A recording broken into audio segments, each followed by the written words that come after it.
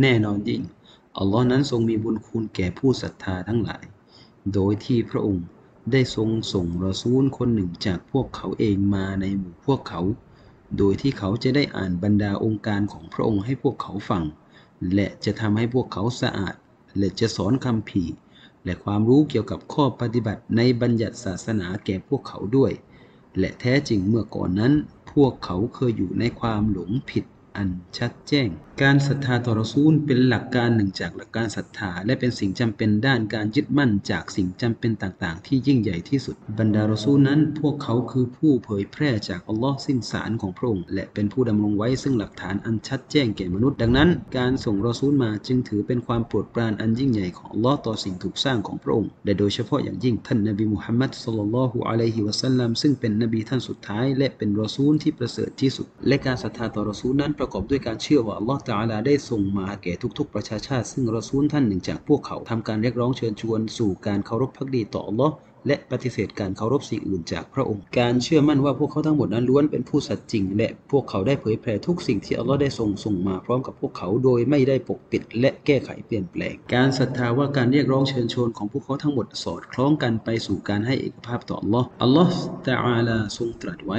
ความว่า และเรา บิได้ส่งรอซูลคนใดก่อนหน้าเจ้า นอกจากเราได้วะฮีแก่เขาว่า แท้จริงไม่มีพระเจ้าอื่นใดนอกจากข้า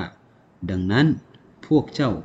จงเคารพ พักดีต่อข้าในส่วนศาสนาบัญญัติและการปฏิบัติต่างๆ นั้น พวกเขามีความแตกต่างกันดังที่อัลลอฮ์ทรงตรัสความว่าสำหรับแต่ละประชาชาติในหมู่พวกเจ้านั้น เราได้ให้มีบทบัญญัติและแนวทางไว้ การยึดมั่นว่าแท้จริงใครก็ตามที่ปฏิเสธต่อรอซูลท่านใดท่านหนึ่ง เสมือนกับเขาได้ปฏิเสธทั้งหมดอัลลอฮ์ตะอาลาทรงตรัสความว่า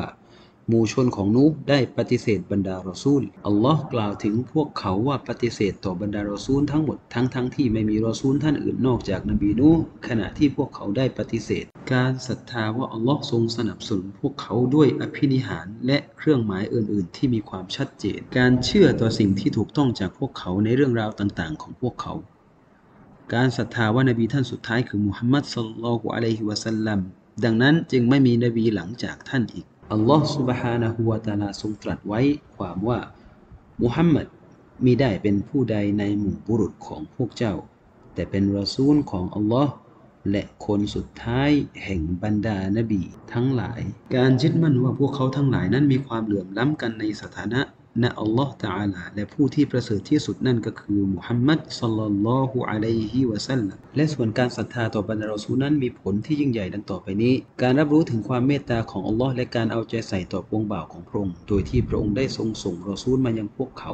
และบรรดารอซูลเหล่านั้นนำมาซึ่งทางนำและคำแนะนำเป็นการขอบคุณอัลลอฮฺตาลาต่อความโปรดปรานที่ยิ่งใหญ่นี้ การมีความรักต่อบรรดารอซูลเคารพพวกเขา และยกย่องพวกเขาด้วยสิ่งที่เหมาะสมกับพวกเขา เพราะพวกเขาคือศาสนทูตของอัลลอฮ์ผู้ทรงสูงส่งและเป็นผู้บริสุทธิ์จากปวงบ่าวของพระองค์ การได้รับรู้ถึงความสามารถของอัลลอฮ์ผู้ทรงเดชานุภาพ และการเลือกสรรของพระองค์จากส่วนหนึ่งของบ่าวของพระองค์ และการให้ความประเสริฐต่อบางท่านเหนือท่านอื่น การยึดสิ่งที่พวกท่านเหล่านั้นนำมา และมันคือหนทางที่จะนำไปสู่ความสุขทั้งดุนยาและอาคิรอ